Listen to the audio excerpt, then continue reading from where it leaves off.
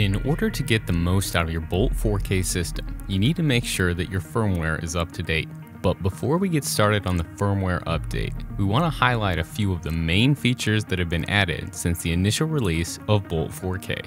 First and foremost, we've added fixed frequency mode, which allows users to specify a single frequency for the Bolt 4K system to link to. This feature can reduce the time it takes for the system to link when powered on. For best results, use the Spectrum Analyzer to ensure that the channel is clear. The latest firmware has also drastically reduced the time it takes from power on to connection, as well as disconnect to reconnect. This is a result of market improvements made to the Bolt 4K radios and software.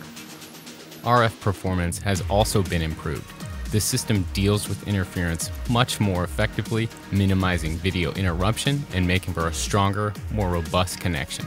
We've also added the ability to pair a receiver with up to four transmitters, allowing users to more efficiently switch between paired transmitters. When you switch your paired transmitter, it'll take approximately 5 to 10 seconds to link to the new receiver. This means on a multicam shoot, all receivers could potentially be paired to each camera's transmitter, then crews simply select which transmitter they want to view at any given time, making for a very streamlined way to move between video feeds. Now that we've walked through some of the improvements, let's get into the process of updating the firmware. We'll start by opening the navigation bar and going to teradek.com slash downloads. Next, we'll select the drop-down menu and find Bolt 4K. Then we'll select the most current version of Bolt Manager to download for Mac OS or Windows you'll notice that our version of Bolt Manager is 3.4.24 and our firmware is version 4.1.3. These are likely outdated by the time you watch this video, so make sure you're downloading the most recent version. Bolt Manager is a software interface that allows your computer to communicate with your Bolt 4K device. Once downloaded, we'll double click on the installer and then receive this warning. This is because our operating system has special security settings that need to be addressed in order to install the software. Yours may or may not. We'll need to open System Preferences, go to Security and Privacy, select the General tab, then we must hit OK on this warning.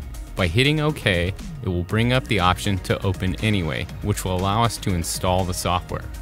That will bring up the Bolt Manager installer and then we'll just follow all the prompts until we've installed the software and once it's installed we'll go ahead and open Bolt Manager. Next we'll want to power our receiver and connect our computer. We'll use a 2-pin LEMO and a micro USB located on the bottom of the device here. Once our device is connected and powered on, we'll go into Bolt Manager, select the Upgrade tab, then Load from Web and it will download the latest firmware file. Now we'll go down here to Advanced Options. In the table below, we can see the current version on our device as well as the newest version and identify if a firmware update is needed. We'll tick the boxes next to Controller, Video Processor, and Radio, then select Start Upgrade.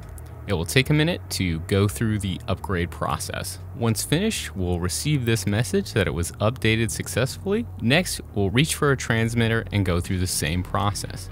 We'll power it on, connect it to our computer via micro USB, make sure that we're in the upgrade tab, tick all three boxes, and start our upgrade the upgrade is successful. Now we can unplug our device and we'll test it. A firmware update does not require you to pair your transmitter and receiver again, but we just want to quickly walk you through the process on our mobile device for those that haven't done it before. We'll grab our mobile device, open our Bolt app, and press pairing. Then we'll select our transmitter, then select our receiver, and pairing is complete. So now our firmware is up to date and our device is ready to operate at its optimal efficiency. Please check back often for more updates to take full advantage of your Bolt 4K device. Happy shooting!